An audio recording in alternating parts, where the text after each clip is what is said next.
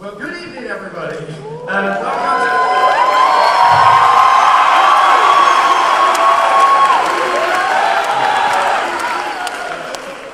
And welcome to the Mole Auditorium for this evening's concert. Welcome to Red and White. We are so glad that you're here, and we hope that you are excited for an evening of student-driven music.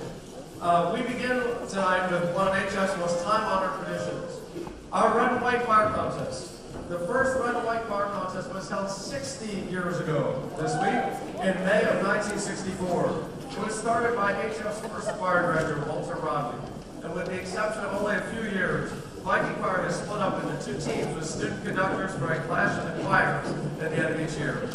Today marks the 56th annual meeting between these two groups. In April,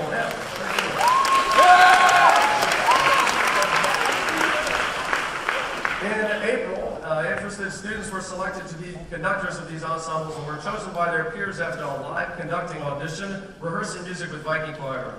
The conductors selected their own teams, and each student conductor has also chosen and rehearsed their own selection of music with their choirs. As a basis for comparison, I've asked both groups to include Rosephanye Powell's The Word Was God on their concert programs. This is one of my favorite concerts because tonight we see what Viking Choir is really about. Independence, vocal development, community building, individual and group accountability, musicianship, and student ownership of the whole process. Uh, on a personal note, of course, many of you know that I was also a red and white conductor for two years here when I was a student at HF. Um, this project is actually where I first fell in love with uh, conducting and working with vocal ensembles. And without having had this experience, uh, I'm not sure I'd be standing here today. So this is my favorite concert again, because for most of the evening, you will see me not doing anything. Uh, which is kind of cool. All through the evening, uh, you'll see an extraordinary amount of student-led and directed work. Uh, everything that you're about to see on the stage is driven entirely by the students. For the last month in Viking Choir, I have taken a lot of attendance, and I have watched your kids do great singing on their own. Uh, for tonight's contest, we kindly remind you to silence all cell phones, respect the competition, and be supportive of the students that are presenting work tonight. There'll be a brief pause between each selection to allow the judges to finish writing their comments. Uh, tonight's comment, or sorry, tonight's concert is also being recorded by Viking Television. Thank you, VTV. We ask that you please keep the aisles clear and watch for cameras if you should need to move. Uh, we'd ask also that you avoid entering and exiting the theater while music is playing if possible.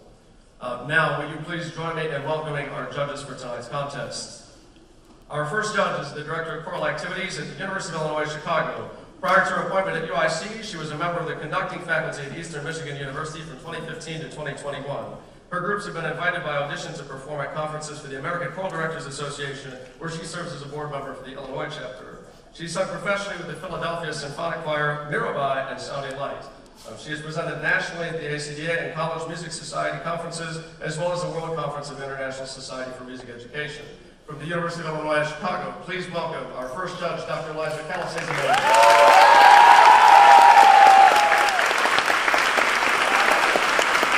Our next judge serves as the director of choirs at Amos Alonzo Stagg High School in Palos Hills, where he directs five curricular choirs, two after-school ensembles, and serves as music director for musicals. As a performer, he's performed professionally with the Grant Park Symphony Chorus for several seasons, as well as Chicago's Apollo Chorus. As an Ohio native, he's been active as a teacher and performer in the Chicagoland area since 2007. He holds a bachelor's in music education degree from Bowling at Green State University and a master's in music from Northwestern University. Please join me in welcoming my counterpart at Stagg High School, Mr. Chris Betts.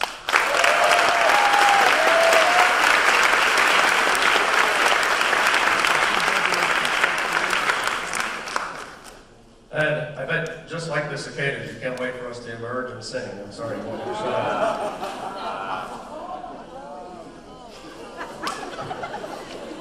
Our, our final judge is an HF Viking Choir alumni and a Red and White winner in her own rights. She has been teaching elementary and middle school general music and chorus in Prospect Heights District 23 since 2007. She served as the choir director for Congregational United Church of Christ in Arlington Heights and was the assistant director of the Grand Prairie Singers and sang with the Downers Grove Choral Society. Uh, she was also involved in the Chicago area theater organizations for many years, holds a BM in music, music education from Millikin University, and attended VanderCook College of Music for her graduate studies. Please welcome back to HF, Miss Megan Murray.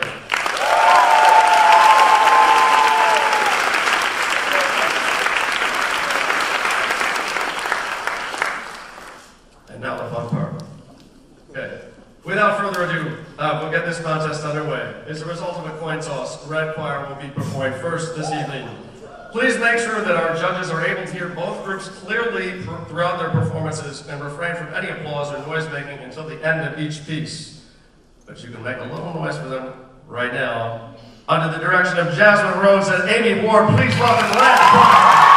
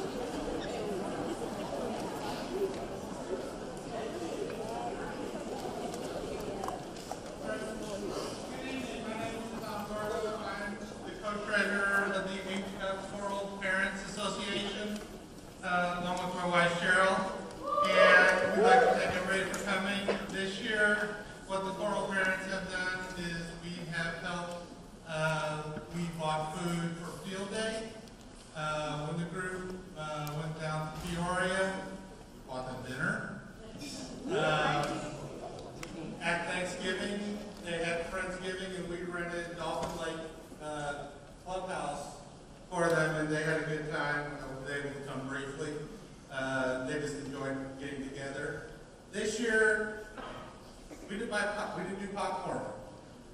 We now have a Venmo account that, uh, instead of spend, giving money to Double Good and us, uh, whatever we do tonight comes to us.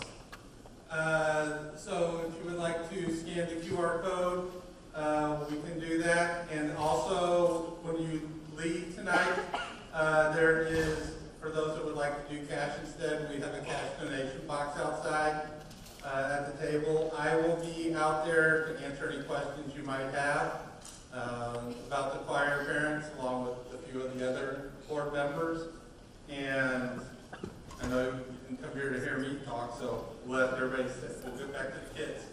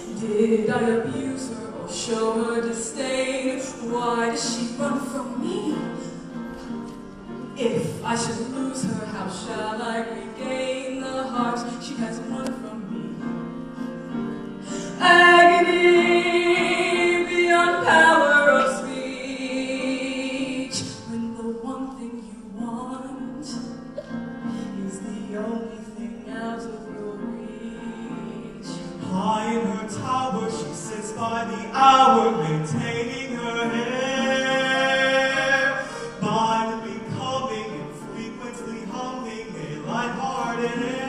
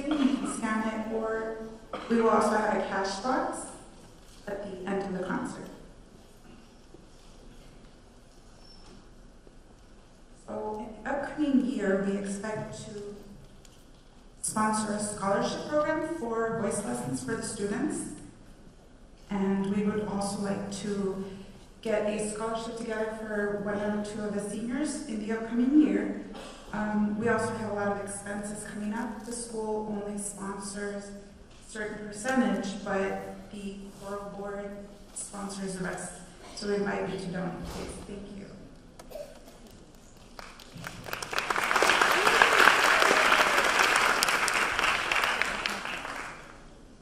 I'm so impressed by the overlap of the various departments within the art departments here between band and orchestra, theater, choir, video. Isn't it amazing to see these students complement each other? They bless the socks off of this community every season. And so even if your kid isn't in something, go to see it and support it and continue to encourage our elementary and middle schools to support arts programs in them too, because they are all feeder schools for our programs. Yes? Yes. Okay, so just one more plug.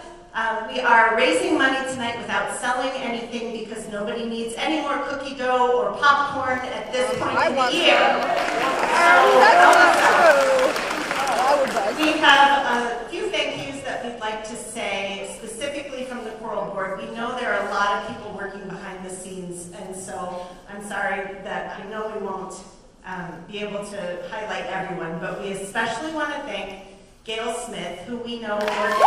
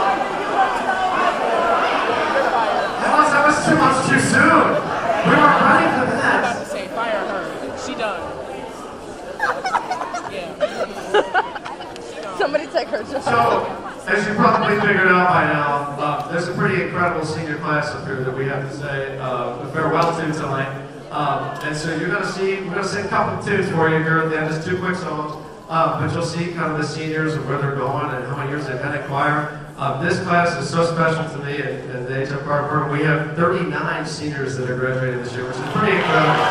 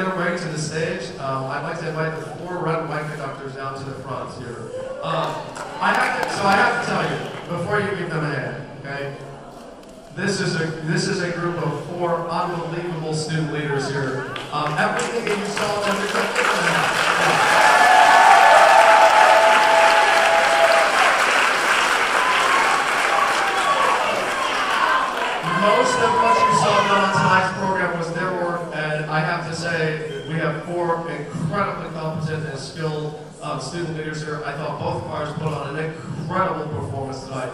Um, so I just want to acknowledge that one more time. You all, the four of you are incredible. Thank you. Thank you.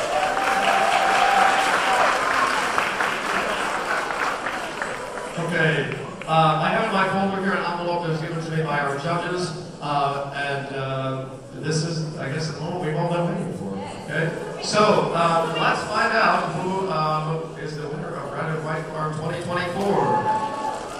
Okay, Um, the winner of Red and White's 2024 is...